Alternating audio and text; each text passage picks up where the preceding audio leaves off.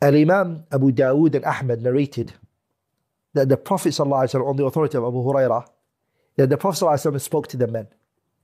The Prophet, he said, لا تمنعوا إماء الله مساجد الله. The Prophet is talking to the men. He's saying to the men, do not prohibit the women from going to the masjid. So no husband can stop his wife from going to Taraweeh. If she wants to go Taraweeh, he can't stop her. لا تمنعوا إماء الله مساجد الله.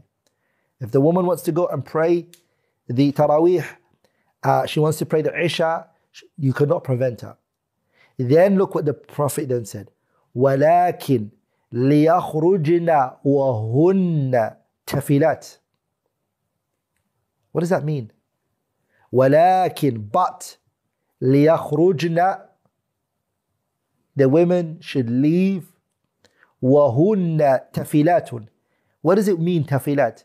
It means غير متطيبات The women should leave لكن without placing perfume, perfume on themselves. So all you men, you cannot stop your wives from going to the masjid. Don't stop them from going to the masjid.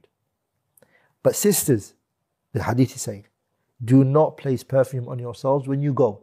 So this is addressing the men and the women simultaneously. We, we men are not allowed to, and the women are not allowed to do uh, that. The men are not allowed to prohibit their women from going to the masjid. They're not allowed to stop them from going to the masjid of Allah subhanahu wa ta'ala. And the women are not allowed to place perfume on themselves.